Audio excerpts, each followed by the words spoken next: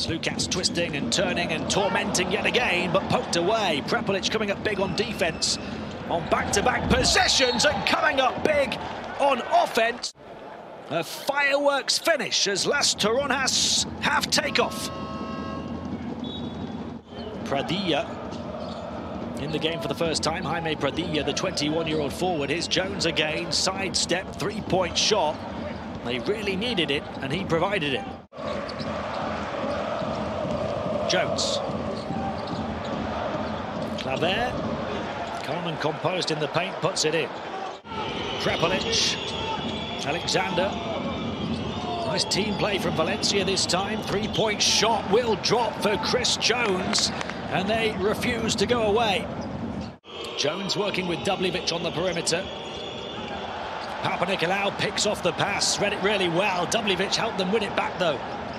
It's a fight to the finish. Prepelic misses the three. Big lead from Webb, in which Chris Jones will slow it down. Valencia trying to halve the deficit, get within one possession.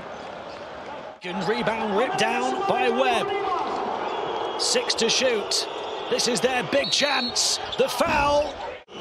That was the first break for Valencia. The foul then from Vezenkov, Olympiacos' other star. Is another huge break for the Spaniards.